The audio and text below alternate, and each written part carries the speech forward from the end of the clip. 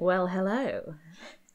Today we're going to be taking a look at this boomer meme I found on Facebook, Eating in the 50s, and we're going to be grading it for its historical accuracy. So, out of these 24 points, how many of them are true to UK food in the 1950s? Number one, pasta was not eaten. That is incorrect. Here's a recipe recommending you pad out your turkey or chicken Christmas leftovers with spaghetti. Number two, curry was a surname. Uh, this one's technically true, I guess, but the implication that 1950s people didn't know what curry is is wrong. The word curry to describe Indian style cooking goes back to the 18th century in English, and here is curry powder that you could buy at Sainsbury's in the 1950s. Point three, a takeaway was a mathematical problem. Um, I don't get this one at all. Like, what do you think a fish and chip shop is? Uh, but the actual word takeaway to describe that kind of food does only exist from the 1960s onwards, so I will give you a point. Number four, no one knew what pizza was. Um, this is incorrect. We had loads of American GIs come over in the Second World War, and they brought with them their love of stuff like pizza. Here's a recipe for pizza from the 1950s. Here's another one. Number five, crisps were plain. The only choice we had was whether to put salt on them or not. This is incorrect. You could buy cheese or onion flavoured crisps, and Fisher's also did OXO flavoured crisps. And I regret to inform you celery flavoured crisps. Celery flavoured crisps are good. These piquantly flavoured crisps are certain to become popular with all ages. We can't stop now, okay? we gotta keep going. Point six rice is only eaten as milk pudding. This is incorrect. Rice is often recommended to eat alongside those curried dishes that you don't think exists. Uh, here's a recipe for curried rabbit, and here's one for curried eggs. And by the way, if you think these recipes are weird, uh, that's because rationing was still on back then. Point seven, a Big Mac was what we wore when it was raining. Uh, this is incorrect. Of course, everyone from the 50s would know that Big Mac was Coventry City's centre forward. But in terms of the burger, that's from the 60s, so I will give you the point. Number eight, brown bread was something only poor people ate. Okay, this is going to take a bit more research. Okay, so the most common bread advert I could find from the 1950s appears to be this brand called Procea, and their white and brown seems to be the same price. Um, I also found that in 1951 there was a bread scare where people thought that chemicals were getting dumped into white bread, so they started buying a lot more brown. Uh, but most interestingly, I found this article from the Belfast Evening News, which is about a book that talks about Irish architecture.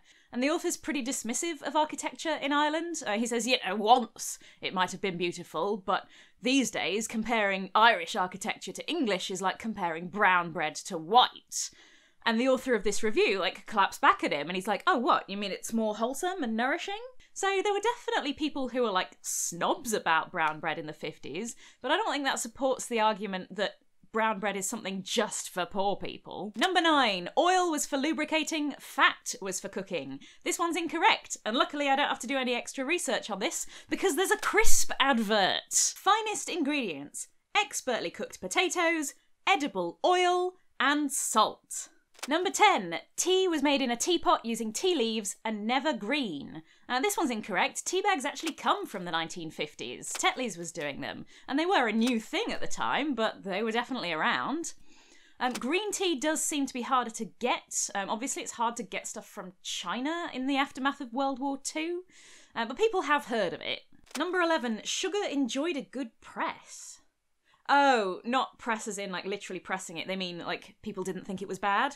Um, this one's incorrect. Dentists knew it was bad for kids' teeth back in the 1950s, and a lot of diet advice recommends cutting out sugar. Something that is different about the 1950s compared to today is that these days you probably couldn't give orphans a load of extra sugar to see if their teeth rot faster. So you're not getting a point for this one, sorry. Number 12, fish didn't have fingers. Um, fish fingers did exist. Here's an advert for Bird's Eyes Fish Fingers from 1957. Number 13, eating raw fish was considered poverty, not sushi. I'm starting to get like a really xenophobic vibe off this meme. It's like, ugh, pasta, rice, curry, Big Macs. Like, almost all of these are foreign foods, right? Uh, so yes, sushi's not really available in the UK in the 1950s. Um, as far as I can tell, it's kind of an 80s thing for the UK. Um, we don't get a Japanese restaurant in London until the 1970s, and astonishingly, in the aftermath of World War II, Japanese food's not super popular. Uh, but I'm going to take issue with this point anyway because of the implication that, like, poor people could afford to buy fish but not cook it. No points. No points. 14. None of us had ever heard of yogurt. This one's incorrect. Here's an advert for yogurt from 1951. Ample supplies are now available of this health giving food. 15. Healthy food consisted of anything edible. Uh, so I guess all I need to do to disprove this one is find any source claiming that an edible food is unhealthy. this is gonna be easy. This is the 1956 Lancashire Evening Post saying that if you want a healthy diet, you should cut out sandwiches, buns, extra cups of this or that between meals, and sweets. 16. People who didn't peel potatoes were regarded as lazy. I can't find any source calling people who didn't peel potatoes lazy. People were dealing with the aftermath of a world war. I think they had bigger things to think about. No, what I think this is, is a dig at modern people who leave the skins on, calling them lazy. Like, as well as the xenophobia, I think there's also a real hostility in this meme to people who try and eat healthily. Um, you can see it in the hatred for brown bread and potato peelings, apparently. I guess potato peelings are now part of the culture war. 17. Indian restaurants were only found in India. This is definitely not true. Here's an Indian restaurant in London in 1951. Oh, look, they serve delicious curries. Here's a Nottingham Indian restaurant in 1953. Oh, curry's their specialty. Also, English dishes served. Please, English people. We promise it won't be spicy. 18. Cooking outside was called camping. God, this is really condescending. Um, it's also, of course, incorrect. Like, people knew what barbecues were. I mean, at this point, I believe the meme writer's not heard of barbecues. They don't seem to have heard of anything. Uh, this article from 1959 says everyone is, of course, familiar with the summer barbecue.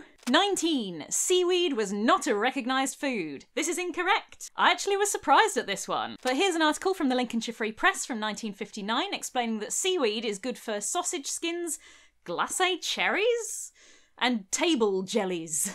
And you can make from it a fine cellophane paper which can be eaten. 20. Kebab was not even a word, never mind a food. Uh, this is incorrect. Here's an article about kebabs from 1956, and it doesn't even feel the need to explain what a kebab is.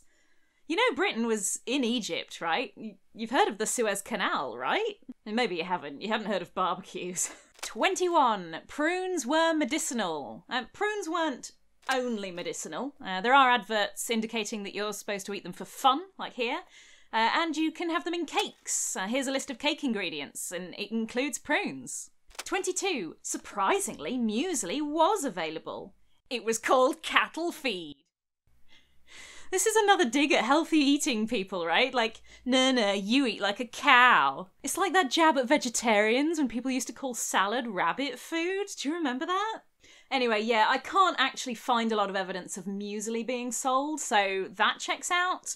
And I guess they do feed oats to cows, but they don't call it muesli, and nobody was like going in there digging out the cow trough and pouring it in their cereal bowls. So I'm not going to give you a point for this one. 23. Water came out of the tap. If someone had suggested bottling it and charging more than petrol for it, they would have become a laughing stock.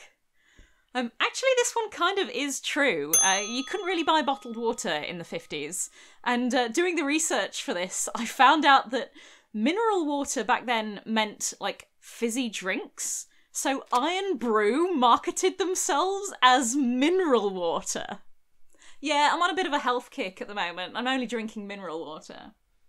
And the things we never ever had on our table in the 50s and 60s we just expanded the timeline by 10 years for the last point. Elbows and phones. Okay, so I guess here's a compilation of 1950s people putting their elbows on the table.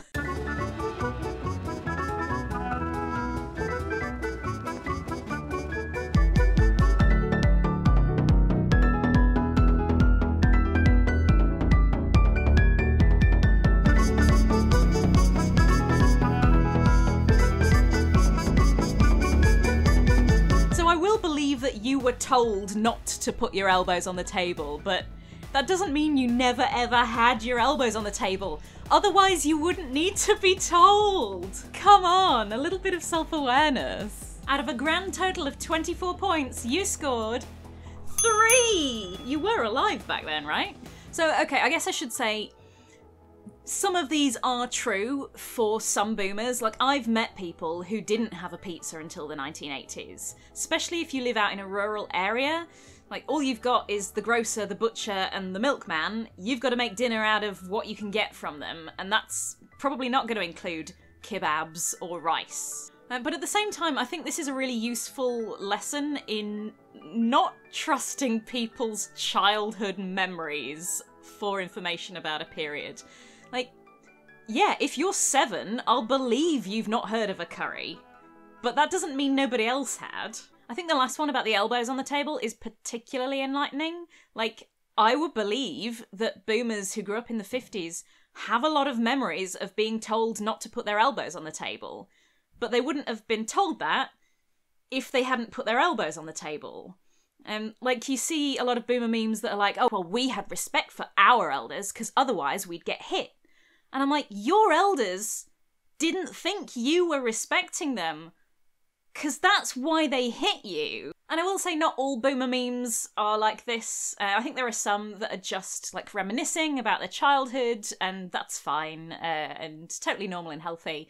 Um, but yeah, where it gets into like weird xenophobic stuff or like digging at modern children, um, there I think it starts to become unhealthy and honestly extremely cringe. Anyway, be kind to each other, don't hit your kids, and foreign food is good actually.